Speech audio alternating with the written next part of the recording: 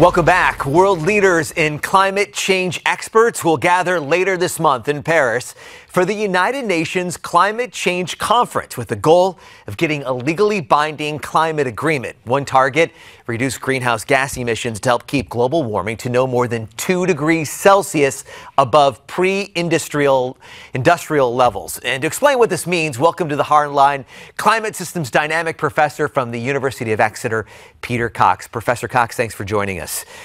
Now, you've said hitting Hello. these greenhouse gas reduction targets won't likely be met through conventional approaches. So, what needs to be done? Yeah, so first of all, I should give you the good news. We've got more pledges for cutting greenhouse gas emissions than we've ever had before. So there is a chance that we start to bend the curve so they don't just carry on going up and up in temperature. But um, the issue is that all of the future scenarios that avoid two degrees of warming, which is what the target's about, um, also involve an assumption called negative emissions, and that essentially means that they assume that sometime in the future we have the technology to suck CO2 out of the air and store it safely. And that's in principle possible, but it doesn't yet exist. All right, we're, we're hopeful, obviously, for this technology. But in the meantime, when we talk about stabilizing the climate, what's at stake here? Well, at the moment, we are on a what you might call a business as usual scenario that's at the upper end of what we, we thought might be the case. Um, I'm part of the Intergovernmental Panel on Climate Change, and we looked at a range of possible futures. We unfortunately are on the upper one of those, and that leads to three to four degrees of global warming, and that's the global average across all areas of the go- globe.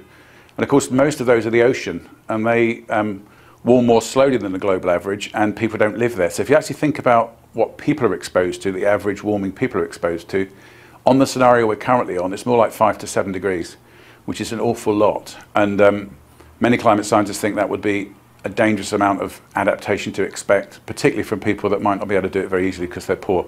Professor Cox, I don't need to tell you, this is such a hot button issue with people passionate on both sides of the argument. You've started this global conversation tour before the big summit in Paris. What are you trying to accomplish through some of your discussions and some of your lectures?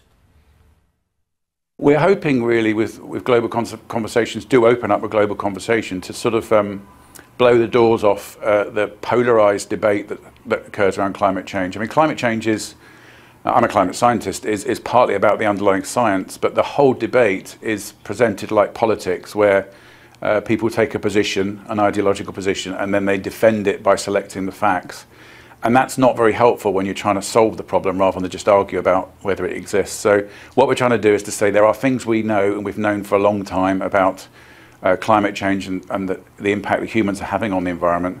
We now need to start acting on it. And because there's been delays in action, the simple things to do, like cutting emissions, will not be enough to avoid two degrees. That's not to say we shouldn't work hard to cut emissions. Um, but it won't be enough to avoid two degrees unless we have some other technology, um, like geoengineering, it is termed, to take CO2 out of the air. Once again, a global conversation on climate change, culminating in that big get together in Paris coming up in just a couple of weeks. Professor Peter Cox from Exeter, thank you so much for the discussion right here on the Hardline. And that's going to do it for this Friday. Just a reminder Ed Berliner is back on Monday. We want to hear from you. Give us your comments, send them right here to Newsmax TV. In the meantime, we hope you have a great Friday and have a fabulous weekend. Ed back on Monday.